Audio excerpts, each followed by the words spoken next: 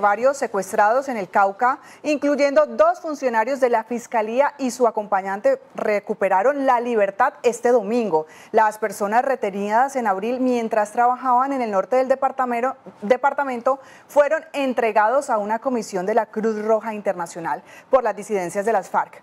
Juan Pablo, buenas noches. En total, ¿cuántos fueron los liberados? Adelante. Buenas noches, pues mire, fueron cuatro las personas liberadas por el Frente Dagoberto Ramos, los dos investigadores del CTI, una civil que los acompañaba y un soldado profesional que permanecieron varios días secuestrados, han podido retornar a sus hogares.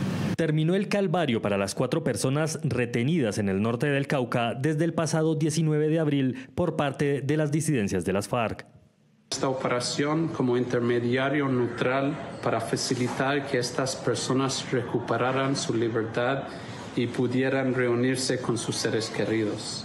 Esto hace parte de la labor humanitaria que desarrollamos en el país para mitigar los efectos de los conflictos armados y la violencia. Es una buena noticia y una alegría para las familias y compañeros de trabajo que gracias a las gestiones de la Cruz Roja Internacional se haya logrado la liberación de los funcionarios de la Fiscalía, la acompañante y un soldado, quienes fueron secuestrados el pasado 19 de abril.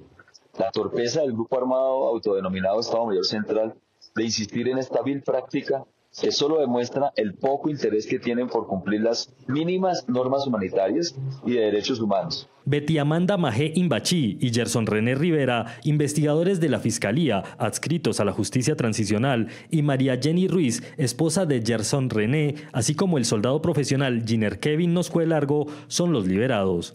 A la par de este proceso, organismos de derechos humanos pidieron revisar la situación que viven las comunidades en el municipio de Argelia por cuenta de la guerra. Las personas que pudieron salir del cautiverio recibieron chequeo médico para determinar su estado de salud y así reunirse con sus familias. Desde Popayán, Juan Pablo Velasco, Telepacífico Noticias, la región, todos los días.